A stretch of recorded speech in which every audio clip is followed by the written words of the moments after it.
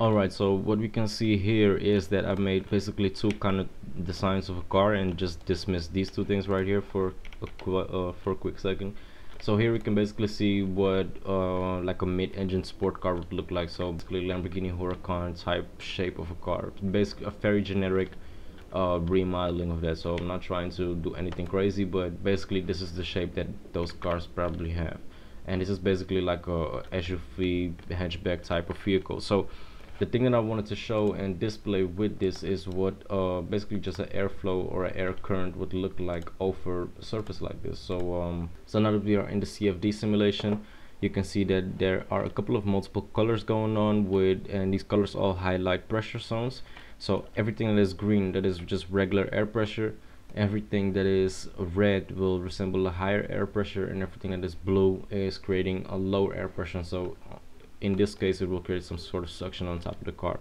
But the first thing that you need to realize is that uh, even though this is a simulation the air is actually not moving in real life. In real life the air is just standing stationary and sometimes you have a little bit of a headwind or a tailwind or wind from the side or whatever.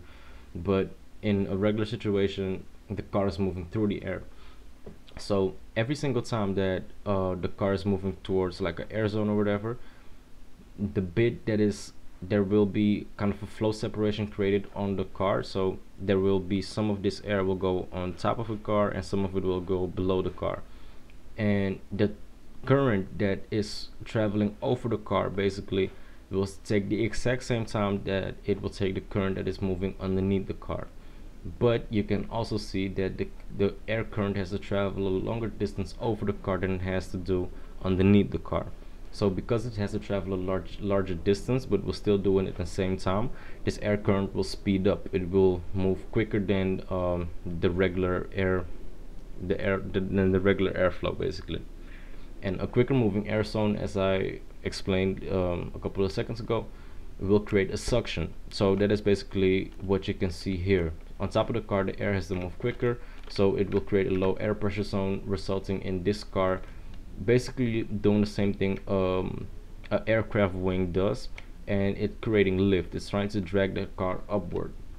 So in a race car sim situation this is not really what you want to have on a car. You want it to produce downforce. So um, that is basically the thing that you can see right here. So just a quick summary a shape like this one. So if the car has to travel over if the air current has to travel over the car and it needs to travel longer way than it needs to do on the other on the bottom side it will um, produce lift instead of downforce.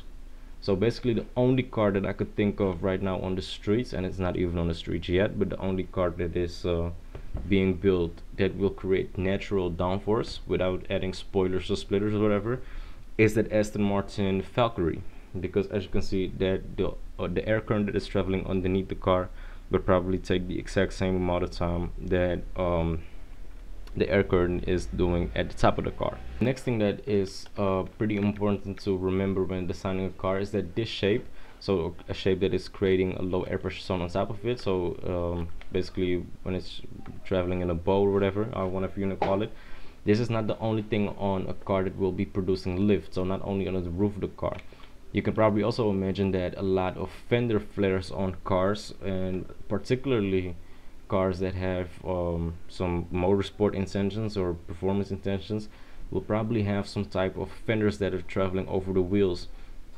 This can also provide a lot of lift so that is also something that you want to minimize.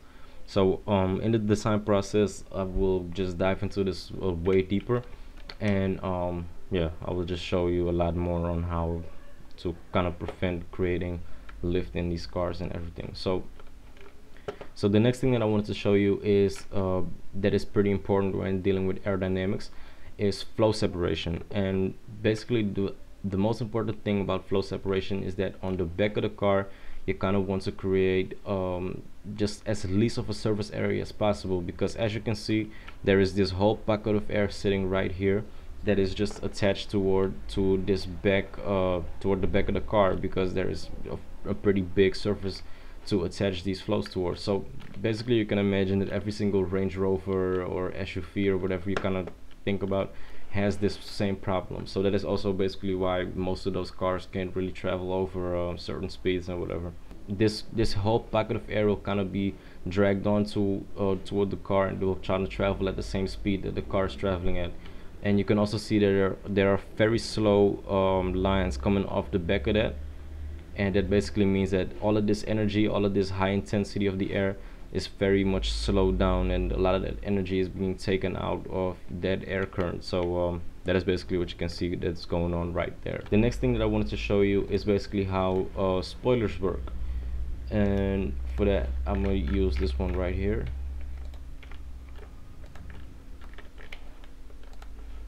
and I can kind of create some float that is going over it.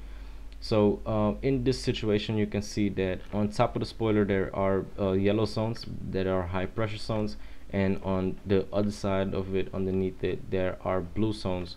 So that will kind of create a suction and it will drag it down and this will create pressure and it will pressure it onto into the tarmac again. So so why does this happen as I said earlier in the video the air moving over it is being slowed down because it's met by resistance from the spoiler surface and everything. So it's being slowed down and slower air uh, air currents create higher air pressure zones.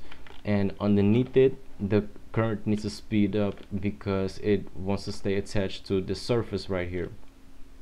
And uh, and it also needs to travel a longer distance than the air moving over it. And that is why it starts to create a suction effect going on with the car.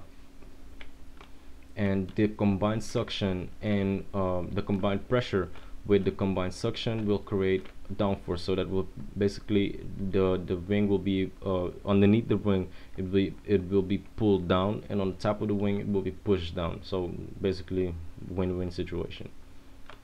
And the the basically why this also creates a lot of air resistance is because of this. You can kind of see that from the sides there will be vortexes created on the wing tips and I can probably even highlight that a little bit more. If I just select uh, this face right here. So you can basically see that there is there is um, a vortex slash tornado however you want to call it is being created at the tip of that wing because that high air pressure zone on the top is trying to combine again become a neutral air pressure zone again with the low pressure zone that is on the bottom. And a way to prevent that is with uh, end plates like in this solution. And if I show you a little bit more surface plot again.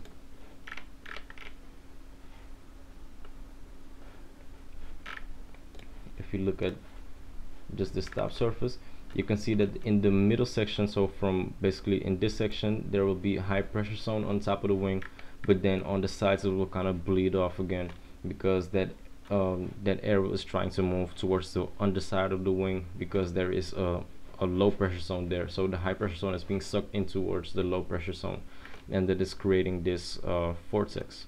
So you can basically stop that vortex being created or you can limit it, it will still happen by adding these uh, wing end plates so that will kind of shut off the, the air trying to move from this section right here towards underneath. The car it will still happen for somewhat uh, but it will be uh, less. So with that you will create a larger zone on the rear wing. There um, there will be some pressure on and you also create less of a vortex behind it so you'll increase downforce and minimize drag. So that is basically a win-win situation for that car.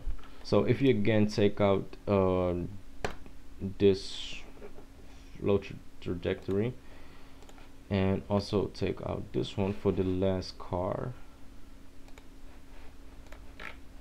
you can basically see a one big difference off top. And let me just hide this one and also take these out of the model. So now that we have these two combined with each other the main thing you can see basically if you take a side-to-side -side view is that from the first iteration of the car the air is basically moving downwards. So this uh, the, en the energy of the air is being directed towards the ground. And with this version you can see that all of that air is basically being directed upward. And you can basically see already that this car will produce downforce and this one won't. Because like Newton law says is that uh, every action creates an opposite and equal reaction. So if air is moving upwards it means that the car is being moved downwards and if the air is being moved downwards it means the car is being dragged upwards basically.